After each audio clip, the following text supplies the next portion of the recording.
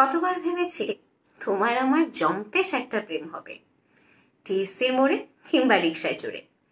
কিংবা বৃষ্টি স্নাত দিনের রাস্তার মোড়ের ফুচকা খেয়ে জীবনের গল্প করে। আমি পরবো শাড়ি আর তুমি পরবে আমার পছন্দের সাদা পাঞ্জাবি। কত শখ ছিল।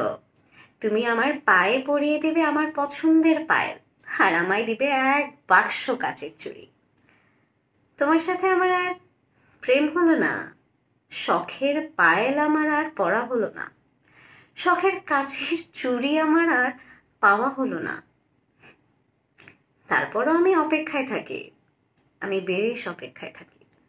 কিসের অপেক্ষায় জানো? আমার স্যালারি।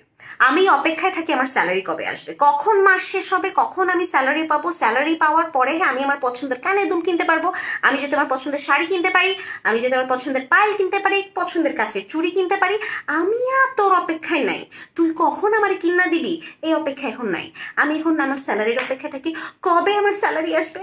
আমি আমার পছন্দের মেকআপ থেকে শুরু করে আমার সব কিছু আমি কিনতে পারব, আমার পছন্দের যেটা যেটা খাইতে ইচ্ছা করে আমি ইচ্ছা মতো খাইতে পারব। কি ফুচকা, কি বার্গার কি পিজা কি বিরিয়ানি।